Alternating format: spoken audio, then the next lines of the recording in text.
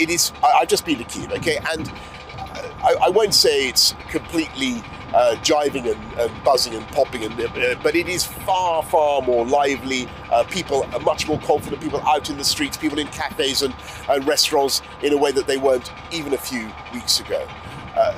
The Ukrainians won the, the, Eurovision Song Contest. I know we had a fantastic entry. I know we came second, and I'd love it to be in this country. I'd, of course, I'd love it to be in this country. But the fact is, they won, and they deserve to have it. And I believe that uh, they can have it, and I believe that they should have it. I believe that Kiev uh, or, any other safe uh, Ukrainian city would be a fantastic place to have it. And I very, very much hope that is it the European Broadcasting Union? I hope the European Broadcasting Union uh, will recognise that because I don't think it's right. This thing's a year away.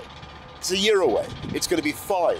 Uh, by the time the Eurovision Song Contest comes round, and I hope that the Ukrainians get it because they deserve it. Should the BBC therefore stop negotiating with the EBU? I, have said what I've had to say. I think uh, I don't want to get any further into the politics of Eurovision, except to say that I do think uh, the Ukrainians won it fair and square, even though we had a brilliant entry, and I think uh, they should be given the chance to host it.